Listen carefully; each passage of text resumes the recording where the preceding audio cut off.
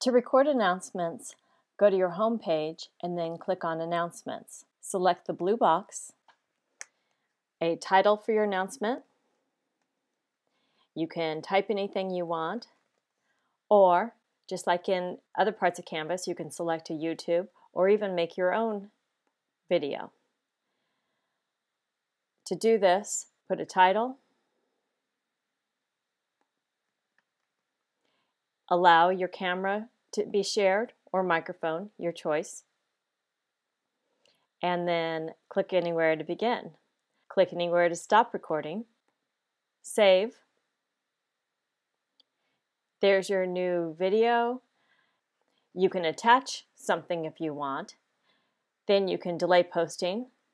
This is great since a lot of students work in the evening. And then save. There is your new announcement.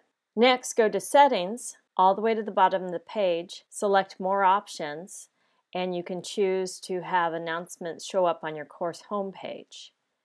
You can select how many you want. Let's stick with three. Update course details. And then go to your homepage and you will see your announcements. You're all set.